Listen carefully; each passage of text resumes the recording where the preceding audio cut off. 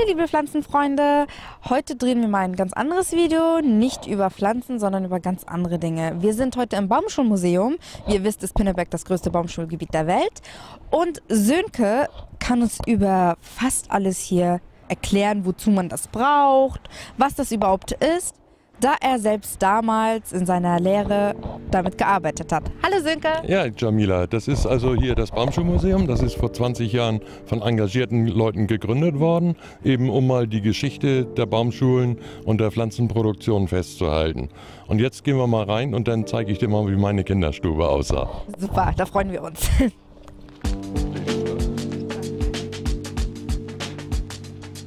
So, wir haben euch äh, ja gerade eben schon erzählt, dass Sönkes Kinderstube ungefähr so aussah in seiner Lehre.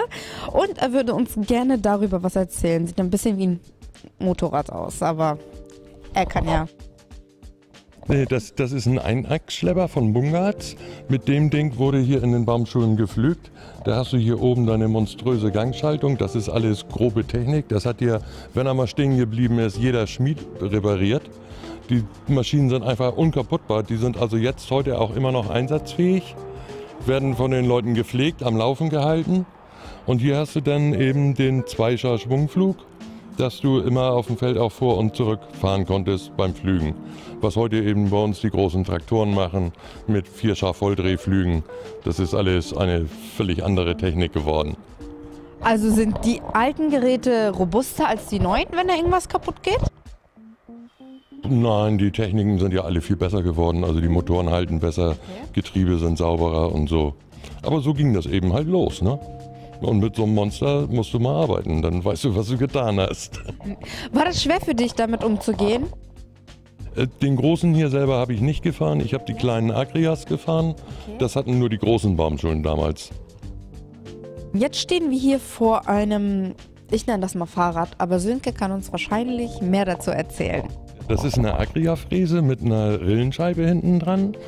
Ähm, ich zeige euch gleich noch den Keilspaten. Das war der Anfang vom, vom Rillenmachen. Das war dann schon eine technische Revolution, dass Motorgetrieben eine Pflanzrille gezogen wird und wir dann eben mit allem schnell pflanzen konnten. Jetzt stehen wir vor einer Messerwand und Sönke erklärt uns, wozu die einzelnen Messer gebraucht werden. Ja, das sind die Veredelungsmesser. Und wir waren ja neulich, waren wir ja auf dem Feld und haben Rosen veredelt. Und dann sieh dir mal diese abgepfiffene Klinge an. Das Ding hat Tausende von Rosen veredelt, bis sie so runtergeschliffen ist. Und es ist also ehrbares Werkzeug. Hier haben wir eine schöne Schwunghippe. Das wird zum Alleebäume aufschneiden verwendet, dass du ordentlich gut durchziehen kannst. Ist hier hinten der Haken, damit du mit der Hand schön äh, dran nicht abrutschen kannst. Geschliffen wurde hier auf, auf Ölstein. Gerne wird, wird dafür genommen der belgische Brocken, der ist richtig schön hart. Und dann wird das Messer hier über einen Abzieher schön entgratet, damit man saubere Schnitte hinlegt. Und hier oben, das sind Ballentuchscheren. Heutzutage wird alles nur noch zugeschnitten geliefert. Aber ich kenne das noch, dass man eben, bevor man aufs Feld geht, erstmal die Tücher schneiden musste von der Rolle für seine Pflanzen. Okay. Und du hast damit alles noch ge also gearbeitet damit? Ja, wie gesagt, ich, ich bin im Baumschulbetrieb groß geworden und das ist alles. Das ist bei mir wie Kinderstube. Sag mal, hat sie gerade Silberrücken zu mir gesagt? so, ich sitze jetzt hier auf dem roten Ungetüm, wie man hier sieht. Und ich weiß gar nicht, was das ist. Aber Sönke kann das ja natürlich wieder erklären. Ja, das ist ein damals moderner Ackerschlepper, der jetzt äh, in der 30 PS-Klasse ist. Und wie du siehst, er hat nicht nur die sportlich rote Farbe, sondern es ging in den Baumschulen auch schon sportlich zu. Oh, ich sitze also auf dem Porsche. Das wollte ich auch schon immer mal. so, Jamila, und da stehst du jetzt genau richtig. Dieses Arbeitsgerät nennt sich Planet. Ja. Warum? Hier ist der Arbeiter hinterhergelaufen da vorne an dieser Stange wurde die Lotte angeschlossen. Mhm. Dann bist du mit dem Pferd durch die Reihen gegangen und hast die Reihen durchgegrubbert. Und damit die Pferde nicht von den Pflanzen naschen, gab es ja noch diesen Maulkorb, damit sie eben, weil wenn sie durch Eibe laufen, dann wäre die Reihe nicht mehr zu Ende gekommen. Okay.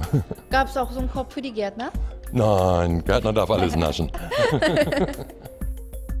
Wir stehen hier vor einem ich weiß nicht. Es ist ein Ich weiß nicht, was das ist. Super, dass du da bist. Hier wurden, der Bügel wurde hochgemischt, die, die Pflanzen werden hineingelegt, die Strohpackungen mit. Moos, um Feuchtigkeit zu halten. Dann wurden mit diesem Bügel die Pflanzen zusammengedrückt, mit Weide gebunden und so gingen die Pflanzen dann früher in den Versand. Weil es war ja nicht, nicht wie heute, dass es binnen von ein paar Tagen da ist. Die Transporte haben länger gedauert und die Pflanzen mussten feucht gehalten werden. Da haben wir einmal hier diese kleine Verpackungsmaschine Ja. und da ist dann die große eben für, für Bäume und Großsträucher. Okay. Also ganz anders als wie heute. Heute alles im Karton und weg ist es und früher? Ja, früher war das richtig Handarbeit und musste sorgfältigst gearbeitet werden, damit die Pflanzen dann auch heil an den Baustellen ankommen, weil mitunter waren die zwei Wochen unterwegs. Okay, das ist recht lange. So, wir stehen jetzt vor Schaufeln, Schaufeln und Schaufeln. Richtig, Sönke? Völlig daneben, Jamila. Das sind Spaten, die wurden zum Ballenstechen eingesetzt. Und jetzt sieh dir mal diese Spatenbleche. Äh, Blätter an, wie abgefetzt die unten sind. Die haben viele Jahre in den Baumschulen verbracht und tausende von Ballen gestochen. Hier äh, da vorne links ist besonders runtergepfiffen. So, und das ist eben äh, Gärtnerarbeit mit solchen Geräten, Pflanzen aus der Erde rauszubekommen und die Ballen richtig zu stechen. Und wenn du dir das hier bei dem mal ansiehst, wie groß das Eisenblatt gezogen ist und noch diese Verstärkung, dieses sch- schmale, dicke Blatt, der war für, nur für Großballen eingesetzt. Während du mit dem kleinen, leichten Spaten da vorne eben kleine Pflanzen herausnimmst. Das ist also alles richtig Knuff und Handarbeit gewesen. Tolles Werkzeug. Oh, super. Sönke, das kommt mir bekannt vor. Es sieht aus wie ein Boot. Haben wir damit nicht mal schon mal gearbeitet? Oder ich? Ja, du hast an der Maschine bei uns im, im Staudenbetrieb gearbeitet. Äh, Das ist eine Topfmaschine für, für Harttöpfe. Das sind jetzt achter Töpfe. Vorne war die Bohrung drin. Es erschreckt mich eigentlich, dass die schon im Museum steht, weil daran habe ich doch gelernt. Kann doch nicht wahr sein. Ja, da sieht man noch, wie die Zeit vergeht, ne? Ja, an, an dieser Maschine hattest du früher fünf Arbeitsplätze. Heute ist es nur noch einer. Also die Technik hat also auch uns ganz schön im Personal zusammenschrumpfen lassen. Also es ist nicht gerade positiv. Ja, das kann man so und so sehen. Wir müssen ja billiger produzieren, damit sonst fliegst du raus. So, wir stehen jetzt hier vor Tannenzapfen, Zweige und Kastanien und was es hier nicht alles gibt. Warum steht das hier? Einfach damit äh, man mal zeigen kann, wo, äh, wo die Saaten überhaupt entstehen und wie das aussieht. Guck mal hier, das ist so ein riesengroßer, schöner Kiefernzapfen. Äh, hier drüben sind Zedern, damit du überhaupt mal den Unterschied zeigen kannst. Und da oben, da sind echte Tannenzapfen. Echte? echte Tannenzapfen, ne? Wie Squat, der wird sie jetzt von der Wand pflücken. so einfach nur, damit die Leute mal sehen können, wie die Saaten aussehen und mit was für Sachen wir eben in den Baumschulen arbeiten. Die Saat sieht immer noch so aus. Ja. Okay. Das hat sich natürlich nicht geändert, ne? Aber ich kenne zum Beispiel immer nur diese ganz, ganz einfachen. Das sind ja echt ganz, ganz viele verschiedene. Unglaublich. Kannst du die ein bisschen auseinanderhalten? Ich kriege sie auseinandergehalten, doch auf jeden Fall. Also ich habe damit gearbeitet. Ich war im Saathandel, ich kenne das alles. Also für mich sieht es ein bisschen gleich aus, aber du kennst dich natürlich aus. Ja. Und die Reinsaaten siehst du da in, den, in dieser Glasvitrine. Ja. Damit Oh, dann keiner dran rumpult, haben sie die Tür auch zugemacht. sieht für mich wie ein Gewürzschrank aus. Ja, ne? nein, nein, aber sie bewahren halt hier diese Arten drin. Das ist wie, also die sind jetzt 100 Jahre lagerfähig und du Okay. kannst sie ausbringen und sie keimen wieder. Und so viele verschiedene Sorten gibt es. Ja, ohne Ende. Unglaublich. Wir sind jetzt hier in einem Beet, wo Sönke uns zeigen wird, wie man früher gearbeitet hat. Ja, Jamila, das ist, äh, hier sind Fichten verschult worden und früher wurde an dieser Pflanzleiste verschult. Da hast du dahinter gekniet und immer in jede Aussparung eine Pflanze gesetzt. Die Pflanzleine, äh, die Rille wurde gemacht mit einem Keilspaten und so wurden dann die Beete, die Reihen gesetzt, sodass du immer einen gleichmäßigen Abstand hast.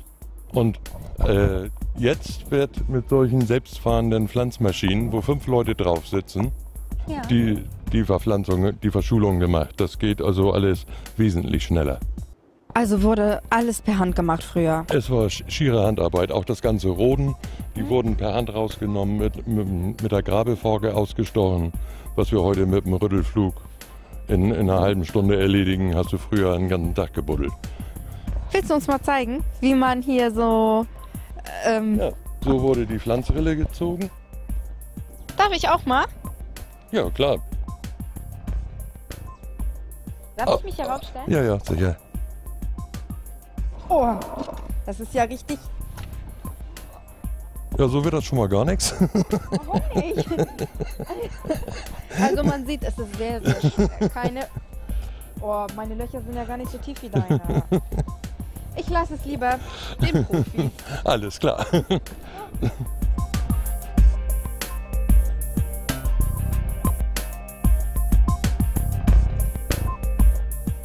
So, wir haben euch einen kleinen Abriss vom Baumschulmuseum gezeigt und ich hoffe, das hat euch sehr gefallen. Ja, äh, also ein Besuch in, in Teesdorf im Baumschulmuseum lohnt sich auf jeden Fall für alle, die sich ein bisschen für die Baumschularbeit interessieren. Und es ist wirklich eine tolle Einrichtung hier. Kommt ruhig vorbei und seht euch das an.